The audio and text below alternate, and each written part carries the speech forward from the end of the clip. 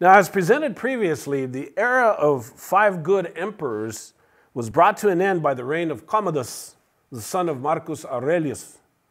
He became paranoid, he slipped into insanity, and he was murdered in the year 192. Now, as the textbook emphasizes, the central government fell into the hands of military usurpers for almost a century. Agriculture became dominated by large estates that were relying on slavery for the maintenance of their wealth. Germanic tribes that had been kept outside the borders of the empire began to make incursions into Roman territory. The Germanic problem forced higher and higher taxes as it cost more to fund and equip a large army to protect the borders. In the West, civil wars amongst generals reduced urban centers to poverty and ashes, strangling commerce in its wake. Trade and small industry declined, and the wealth of the empire in the West disappeared. Meanwhile, in the East, untouched by these conflicts, the opposite took place.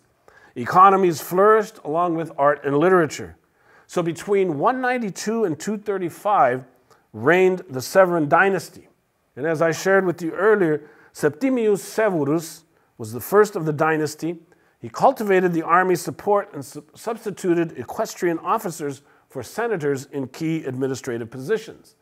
His son Caracalla extended full Roman citizenship to all free inhabitants of the empire. An increasingly unstable and autocratic, Caracalla was assassinated by Macrinus, who succeeded him, and before being assassinated and succeeded by Elagabal. Okay, here, let me see if I can try it again. Elagabalus. Alexander Severus, the last of the Severan dynasty, couldn't control the army and will be assassinated in 235. And it was his death that marked the end of the Roman peace or the Pax Romana. So please read the textbook to find out about the infamous age of the barracks emperors, or the crisis, of, or what is known by historians as the crisis of the third century, which is the commonly applied name for the crumbling and near collapse of the empire. Now, between 235 and 284, 25 emperors reigned, 18 of them who died by violence. Now, ordinary citizens suffered as respect for imperial authority disappeared and force, bribery, and corruption became commonplace. The period of extreme military, political, and economic crises ended with the accession of Diocletian, who reigned from 284 until 305. Now, Diocletian was aware of the fall in both power and prestige of his office. And unlike Augustus, he did not cloak his power behind a thin veil of republicanism, but ruled in the style of an Eastern king, wearing diadems, purple robes, appearing aloof, and demanding acts of obeisance. Now, much of this was done to distance himself from the troops who had used their familiarity with the previous emperors to increase their personal gain at the expense of the empire. He also saw the flaw within the Roman system of succession and attempted to rectify it by means of a radical new system in which the empire was split in half, with each half governed by an Augustus who appointed his heir to the rank of Caesar. Thus, the new emperor would gain valuable experience and succession would not be questioned. In doing so, he effectively created what would become the Western Roman Empire and the Eastern Roman Empire. And in 293, as each Augustus took a junior emperor called a Caesar to provide a line of succession, the new policy constituted what is now known as the Tetrarchy, or the rule of four. Diocletian pushed economic reforms, including price and wage controls, and increased the tax burden. Diocletius also separated the military from civilian chains of command to reduce the probability of armies making or unmaking emperors. He also put a physical distance between himself and the Senate by moving the administrative capital from Rome to Turkey. To him, these attempts were the best chances of survival, and historians write that the transitions of this period mark the beginnings of late antiquity. Diocletian's successor, Constantius Chlorus, could not deal with the insurmountable problems, and upon his death in 306, the tetrarchy effectively collapsed. Constantius' troops immediately proclaimed his son Constantine the Great as Augustus. A series of civil wars erupted, which ended with the entire empire being united under Constantine, hence his title, the Great. As he consolidated his rule over the empire, he constructed a new capital city in the Eastern Roman Empire, naming it after himself, Constantinople. He chose a strategic position that was defensible by both sea and land, and in time, Constantinople became the largest city in the remaining empire, where Greek, not Latin, was the dominant language and culture. Now let's take a look at religion. The Roman state religion worshiped the emperor as divine and maintained respect for its roots in the environment and cosmos. Romans believed certain rituals made them right with the supernatural. It was every Roman citizen's duty to perform the appropriate rituals to ensure peace and prosperity. And as the, Romans, as the Roman Empire expanded and came to include people from a variety of cultures, the worship of an ever increasing number of deities was tolerated and accepted. Other religions from Persia, Greece, and Africa flooded Rome after the conquest. And to be accepted by the Romans, the other religions needed only to perform the prescribed rituals at the appropriate times. They were required to observe and include sacrifices to the divine emperors first as a declaration of loyalty to the empire. So this could be easily accepted by other faiths as Roman liturgy, liturgy and ceremonies were frequently tailored to fit local culture and identity. An individual could attend to both the Roman deity representing his Roman identity and his own personal faith, which was considered part of his personal identity. In an effort to enhance loyalty, the inhabitants of the empire were called to participate in the imperial cult by revering the emperor first, and of course, members of the royal family. They were all divine or godlike. The cult complex became one of the focal points of life in the Roman cities. The deification of the emperor and the royal family always occurred next to a temple, a theater or amphitheater for gladiator displays, for other games, and of course at public bath complexes. Now, under Roman rule, Jewish people of Judea were allowed a degree of religious freedom and self rule. And in the first century BC, Julius Caesar, excuse me, granted Jews the freedom to worship in Rome as a reward for their help in Alexandria. So while Judaism was accepted, it was on occasion subject to local persecution. Judaism is characterized by a passion for meaning, followed by strict observance and practice. In God, mortals, deities, and the unknown or the other are intuited as one.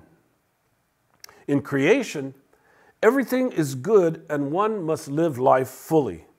In human existence, one must make way for the image of God. In history, God intervenes, so people must be socially active, politically responsible, and economically just.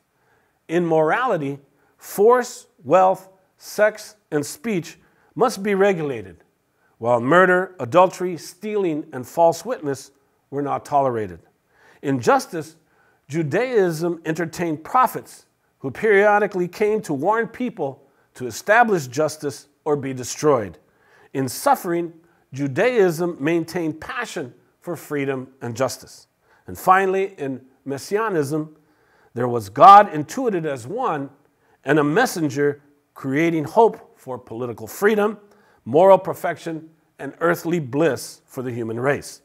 So, to be Jewish, observance and practice included the importance of ritual to instill piety, respect for tradition, which meant observance of the Torah or the law. Revelation meant disclosure. The covenant relations re- reveals God's power, goodness, and concern. So to be the chosen people meant not national arrogance, but a prophetic protest against social injustice. So by 6 BCE, the Romans became afraid of, of Judaism. They sent a procurator to rule the nation of Judea, revoking self rule. And this caused widespread unrest and sent several groups underground. The Sadducees favored cooperation with the Romans, emphasizing assimilation. The Essenics or the Essenes preferred adaptation and accommodation, balancing the demands of the Roman world with their rich heritage. They awaited a Messiah for deliverance from Roman rule.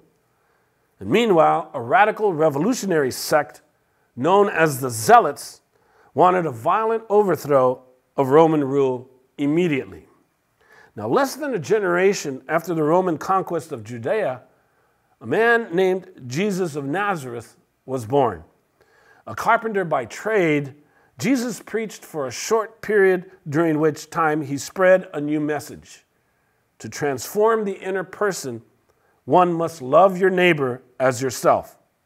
This was radical during a time of increasing accumulation of wealth and power in the Roman Empire. And Jesus was well received by Jewish commoners, but the priesthood wanted him silenced. Banditry under the flag of Jewish nationalism was frequent, and there was open talk of rebellion and a hope for the promised Messiah who would restore Jewish rule over Israel. Into this political background, Jesus came forward teaching what appeared to be a radical form of Pharisee and zealot doctrine through his Essenic emphasis on the ethical requirements of the law and his belief in life after death and in the coming of the kingdom of God. Foremost of these radical beliefs was his insistence on obeying the spirit of the law rather than the letter of the law. Give to Caesar what is Caesar's, give to God what is God's. This angered the Sadducees, who believed in the direct interpretation of the law and who just so happened to have political power over the province and the most contact with the Roman forces. However, Jesus was not just a radical, but a revolutionary because he went further by challenging Jewish traditions as the Sabbath, undermining obligatory Jewish law. Most controversial was his claim to be the promised Messiah who would deliver Israel from her enemies. Now, while his followers later interpreted the deliverance to be a spiritual one, authorities and religious leaders viewed this as a physical deliverance and a political deliverance from Roman occupation. So when he entered the temple at Jerusalem and attacked the money changers, religious leaders had him arrested, fearing his ability to stir the crowds against them. And basically, his, his statement that the poor shall inherit the kingdom of God over the rich, that is very challenging. You don't tell rich people that they're not getting to heaven. So Pontius Pilate is going to make an example of him by having him crucified. And crucifixion, this is a penalty for those uh, judges or those who are judged as guilty of sedition against Rome. Crucifixion. Get out of here. Now, many of Jesus' followers believed he rose from the dead and was the Messiah, the Savior of Israel. Inspired by this belief, now called Christianity, his followers spread Jesus' teaching, teachings throughout the Roman Empire. The theological contributions of Jesus and his teachings were unique and profound, and two leaders emerged during the early Christian movement Simon Peter, who became the first bishop of Rome, and Saul of Tarsus, later known as St. Paul, an early persecutor of Christians. As St. Peter exclaimed Jesus as the Son of God or Christ. But St. Paul cleared the way for non Jews to be converted to Christianity. St. Paul set the stage for the conversion of the Roman Empire. His letters form a major portion of the New Testament of the Bible. Paul's role in his fundamental reorientation from Stoic philosophy to Messianic faith transformed Christianity into a religious movement for both Jews and Gentiles. Now, groups of people in Greek society had always congregated around Jewish communities, revered them for their concept of one God or monotheism, and modeled their lives after Jewish standards, but they did not subscribe to all of the tenets of Judaism, such as circumcision. But Christianity gave Greeks an excellent alternative. Christianity's communal aspect was attractive to all poor people throughout the empire. Women were especially attracted since they achieved relatively high ranks in the new religion. The promise of salvation was extremely important given the crisis of the third century, as converts increased during the same period. So the success of Christianity was founded on the universal message of the religion, of its leadership, and of the social conditions of the Mediterranean world at the time, hence why I wear this t shirt. Romans, for the first two centuries, believed Christianity was a Jewish sect rather than a separate religion.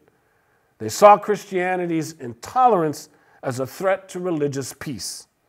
Christians refused to perform the Roman state religious rituals.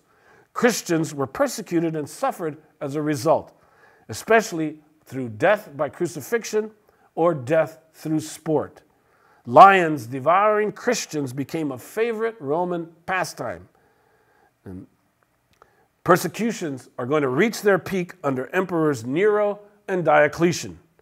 Historian Tacitus reports that after the Great Fire of Rome in the year 64, Nero diffused blame by targeting Christians. And historians Eusebius and Lactantius document the last and most vicious persecutions occurred under Diocletian. So when Constantine the Great became emperor, the majority of citizens in the Roman Empire had converted to Christianity. And as he united the entire empire, Constantine legalized Christianity definitively in 323 through the Edict of Milan. And this provided religious or official tolerance of the religion. Constantine will later convert to the faith. So, given official tolerance, Christianity became unstoppable. The textbook provides you a succinct reading on canon law, the doctrine of Petrine succession, and the title of Pope.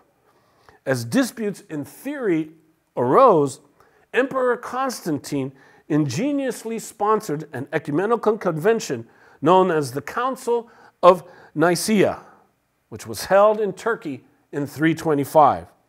Now, the council adopted an important doctrine for the faith known as the Nicene Creed. There is only one God who is experienced as three persons also known as the Trinity. And these three persons are God the Father, God the Son, and God the Holy Spirit.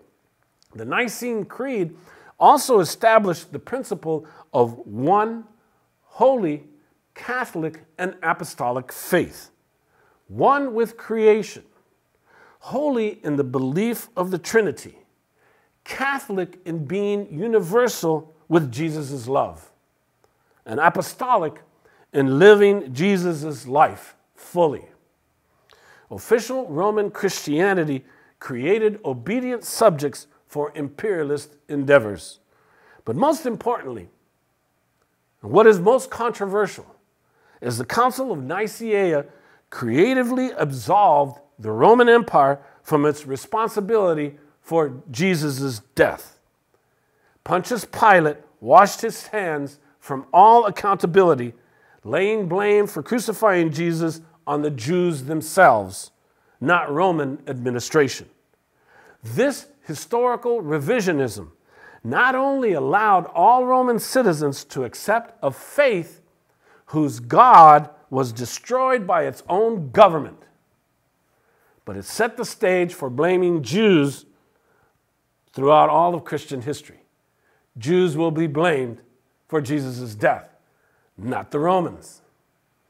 In 395, Emperor Theodosius the Great adopted Christianity as the official religion of the Roman Empire. This was great for the remaining Roman Empire. The division of the Roman Empire into a Latin West and a Greek East foreshadowed the division of Christianity between Catholicism and Orthodoxy. And this will be complete by the 11th century. Now, the Latin Church, centered in Rome, inherited the territorial organization of the late Roman Empire into dioceses. Emperor Constantine's adoption of Christianity was part of his strategy to present himself as God's appointed ruler on earth, an ideology of political legitimization that dominated the Western world for the next 13 to 1400 years of European history. Numerous groups from the plains of Asia, united under Attila the Hun, migrated west, pushing German Visigoths into Roman territory. By 410, the Visigoths invaded the Italian peninsula and sacked Rome, sending shockwaves throughout the empire. In 455, the Vandals invaded Rome from the west and sacked Rome. And finally, in 476, Germanic groups deposed the last emperor, Romulus Augustus. So historians point to multiple causes of the collapse of the Roman Empire in the West the civil wars over the imperial succession, the financial cost of supporting the military, and the resulting tax burden on the peasantry and local officials provide important clues for the collapse. The barbarian invasions and the empire's resort to the recruitment of those same forces seriously damaged Roman agriculture, which was the base of entire society. The emperors responded to financial crisis by depreciating the currency, leading to inflation, which forced the collection of taxes in kind. And after the invasion of 476, regional and local system of exchange continued, but the long distance trade in bulk and luxury goods that was present uh, only was maintained in the East, not in the West. Standards of craftsmanship in pottery making and ceramics declined, as did the standards of living for those in the western half of the empire. Roman tax systems survived, but the revenues now went into the purses of the warlords rather than the emperor. Roman administrative and legal systems continued, but with a different administrative elite. Agricultural patterns continued. The aristocrats dominated civil life, and they dominated the cities surrounding in the surrounding regions. Know, Roman culture and Roman church continued to be very powerful aspects of society, but only on the peninsula. What happened in essence was society was beheaded with the top layers of society replaced by a new ruling class.